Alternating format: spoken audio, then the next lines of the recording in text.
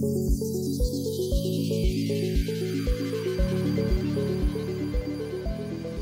my name is Mike Schwarz, Managing Director of iTech Minerals, and welcome to another episode of Ask iTech. So, there's a couple of questions that have come up very recently that I'd like to address. Uh, one of them is around our uh, top up placement that we did just in the last couple of days, and then also uh, some questions about the antimony mineralisation that we have at our Reynolds Range project in the Northern Territory.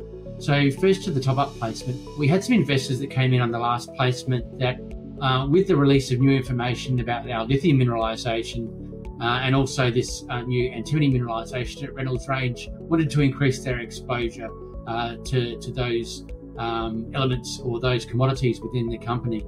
Um, so we had some placement capacity left over uh, from the last placement, so we were able to accommodate up to a, another half a million dollars worth of investment from those uh, existing shareholders. So we're very pleased that they've decided to I- increase their um, exposure to, to minerals.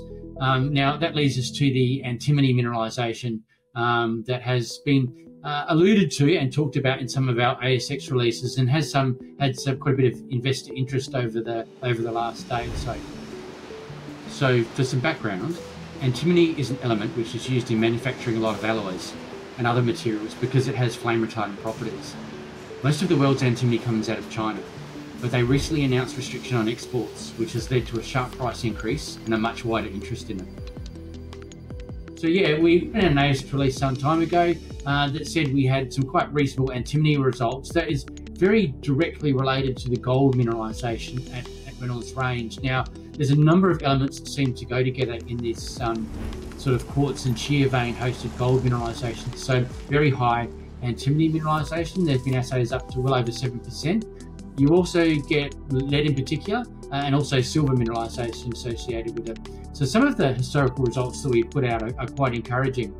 Um, so at the, the Falchion prospect, which is adjacent to the, the Sabre prospect, where we got that 182 gram per tonne gold uh, hit in our last rock chip results, uh, we got 11 metres at 4 grams per tonne gold historically, with 4.45% antimony, uh, 1,530 ppm arsenic, and about 382 ppm lead. There was also another drill hole there that reported 3 metres at 2.2 grams per tonne gold, 2.5%, uh, 57% antimony, uh, nearly half a percent arsenic, and 1.4% lead. So it's something that we have been looking at, and in the last couple of rock chip sampling programs, um, we've looked at that, that gold and antimony association quite quite closely. So we have some rock chip results due uh, early September, uh, first week of September, uh, and they will be on some of the focused rock chip sampling we've done to try to understand the relationship between gold and antimony mineralisation at Sabre, um, at Falchion, uh, and also to a lesser degree at Reward and Scimitar. Um, I've just come back from the field uh, doing some uh, further follow-up sampling. Um, and, and I've looked at some further extensions of that style of mineralisation as well. So those results from this latest field trip uh, are due in about another month. Um, so that'll be looking towards the end of September. So uh, it, it, that sort of mineralisation is something that we're looking at quite closely, and there'll be more results coming to market um, to provide some more detail on that in, in the next uh, week to, to month. So please stay tuned.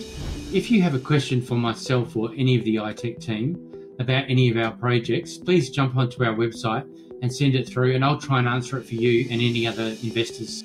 Uh, as always, please make sure you subscribe to our email list and our YouTube channel so that you never miss an update in the future. Thanks for watching.